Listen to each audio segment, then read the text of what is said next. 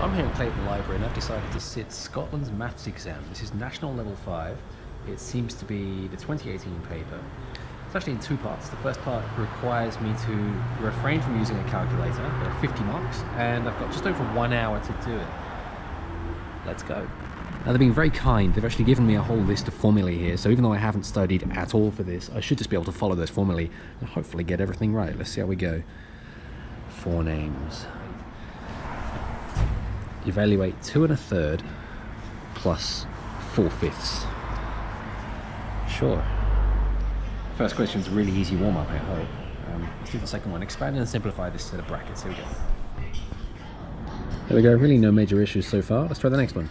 Solve algebraically the system of equations x and y, simultaneous equations. This is great because we do these all the time in chemistry. We try to eliminate the uh, number of electrons from half equations when you got from a pair of half equations so you can make an overall redox equation. This should be fine.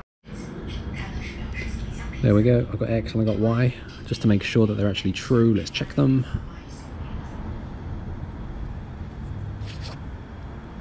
Looks pretty straightforward to me. Next. So I'm looking for two numbers that uh, add up to 11 multiplied together to 24. That's 8 and 3, obviously. Um, now clearly they're both negative. Easy. Part of the graph, this is shown in the diagram, state the values of a and b. Well, cosine goes from minus 1 to 1, it's times by a, a is 5, obviously. b um, is clearly 1 no, wait, sorry. It's supposed to do that over a um, 360 degree uh, time frame, and it's doing it over 90. So therefore, B is 4. Easy. 14 and 20, they're to ask for the gradient, right? Find the equation on the lines of P and D. Oh, this is easy. Give the equation in its simplest form. Sure. P is 3 on 2, D plus 2. Still very easy. All right. Calculate the cost of a journey in 5 miles. Uh, hold on five miles. All right, well, P equals 3 on 2D plus 2. 7.5 plus 2 is equal to 9.5 pounds. Triangle adds up to 180. Square adds up to 360. I've already got the pattern here. Pentagon must add up to 540. The angle equals n minus 2 times 180. Therefore, decagon angle, interior angle, is equal to 8 times 180. That's 1,800 minus, um, 360, which is uh, that 4, 4. There we go, 1440. LJK must equal 180 minus 17 minus 36 135 degrees. Looks about right.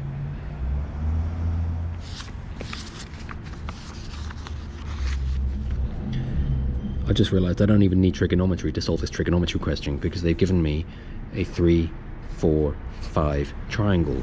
The answer is 6 I've got to show the points of intersection with the x-axis and the y-axis and the coordinates of the turning point. Easy let's do it for this one here, I had to sketch it and label the intersections with the x and y axes, which were easy.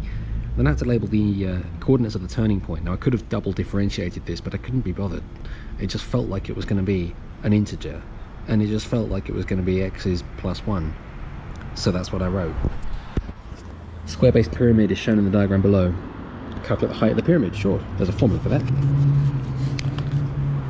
Volume of a pyramid I've just got to evaluate this expression now by hand. Um, slightly annoying, but never mind. 138, I'm going to divide that by 2 first of all, so that's going to give me what? Uh, nearly 70, 69 times 3. That's looking easy now, over 18. 11 and a half. Done. Express sine x cos x tan x in its simplest form. Multiply them together. Does anything cancel out? That cancels out with that. So now I've just got up over hip times um, up over hip oh cool. Sine squared x. I'm gonna go with that.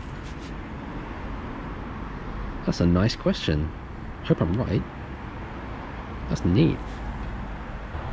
Well, that was the end of paper one where I can't use a calculator. And now paper two, I am allowed to use a calculator and it goes on for two hours supposedly. I'm hoping to be much, much quicker than that. Here we go. Name. Farmers market took place one weekend. Storeholders asked to record the number of customers who visited their stall. Number of customers who went to the stores uh, were these. Calculate the mean and standard deviation. I've got the formula in the formula book. I found a button that said calc, and it's just giving me the answers. Here we go. So the mean is 108, and the standard deviation is equal to 47. Um, seems a little large to me. Seems very large to me. Seven data points. You sure? There's a zero hiding in there. Data. Get rid of that zero. Press the calc button. There are my answers. Not 108. It's 126. And SX now is much better. 4.0497. Uh, I don't know if they care about rounding or not, but there we go. That'll do. Next. I'm quite pleased here to have found a significant figures question. They just want the volume of this sphere, which has a diameter of 6.4. So, and they've given me the formula to find out the volume of a sphere. This is incredibly generous of them. 4.4 divided by 3 times pi times bracket 3.2 uh, power of 3 bracket. There you go.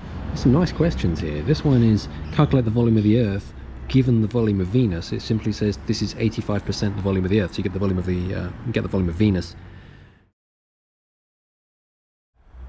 So I've just had both those maths papers marked, and I've achieved an A in both the Tech Free and the Tech Active, but I'm not satisfied with my percentage score.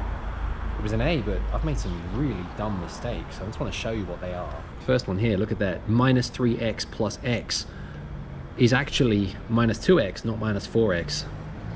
So I lost a mark there. This page was okay. There, I I gave two roots here, which were real roots, but in fact, um, there were no roots for that quadratic. This one here, another just simple arithmetic error. Look at that, 180 minus 17 minus 36 is not 135. It felt wrong when I was doing it. But uh, yeah, it's 127. So I lost a mark there. This one, I, I went ahead and I think he saw me go, look, this is a 3, 4, 5 triangle. Well, actually, no, there are two possibilities. Just because that's a multiple of 4 and 5 doesn't mean that that's 3. That's actually 12. And you'd know that if I'd have continued this method here with the cosine rule, I would have actually have known that was uh, 12. So I lost three marks there, as you can see. That's terrible.